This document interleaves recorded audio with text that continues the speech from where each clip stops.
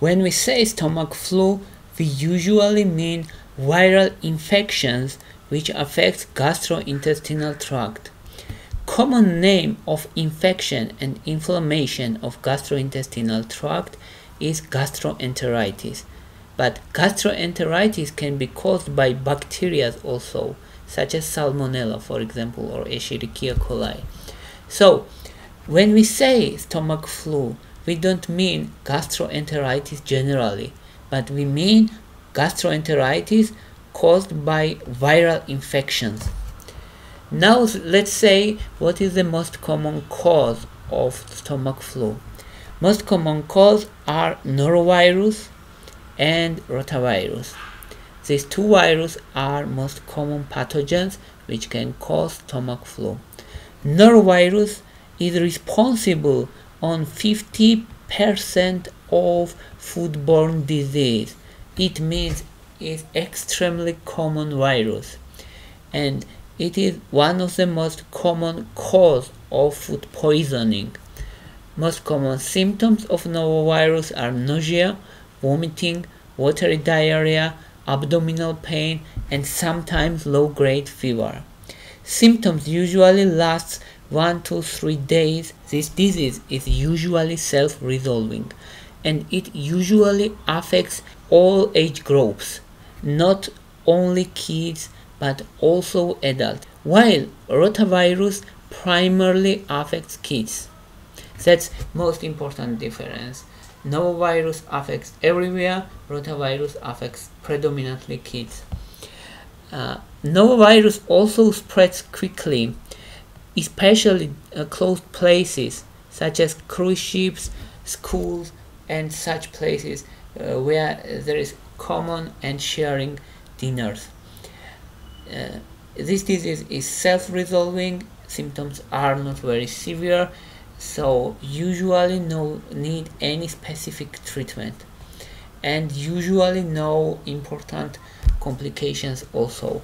But rotavirus is very important because as we said rotavirus affects primarily children especially young children sometimes infants also. And it's important because it causes se severe dehydration. And severe dehydration can be life threatening and before vaccination period lots of kids were died because of this severe dehydration because it's life threatening especially young kids and infants. Symptoms are severe watery diarrhea often accompanied by vomiting fever abdominal pain and the symptoms last 3 to 8 days. And these 3 to 8 days are totally enough to develop severe dehydration because severe dehydration sometimes is developed even one day if there is severe vomiting or severe diarrhea especially among young kids. That's why it's important to remember that rotavirus can cause severe dehydration and it can be life threatening Fortunately, we have vaccine and va vaccine is highly effective and uh, in case of using vaccine, kid is protected from such severe dehydration. Treatment is rehydration therapy, rehydration solutions.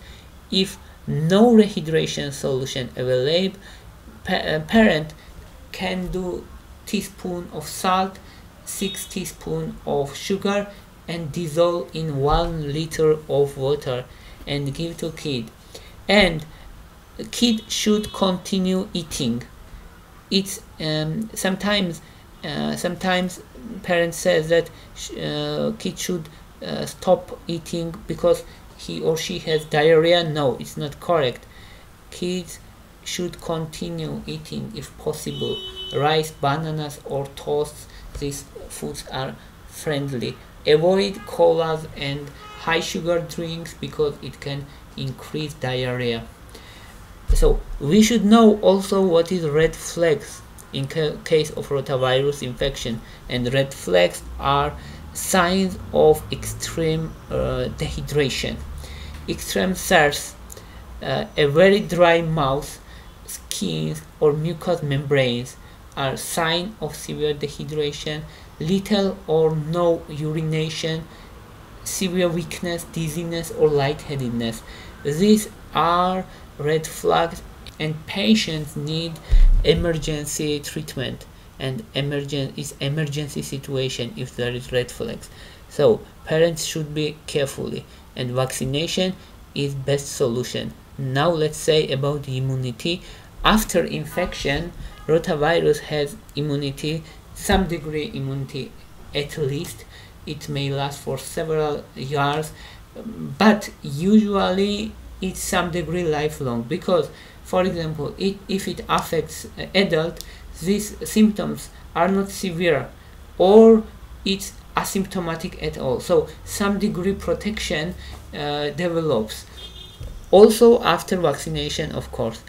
And um, about norovirus. Uh, after norovirus, yes, we have also some immunity and immune reaction, but we have this immune reaction for specific strain, which strain already attacked.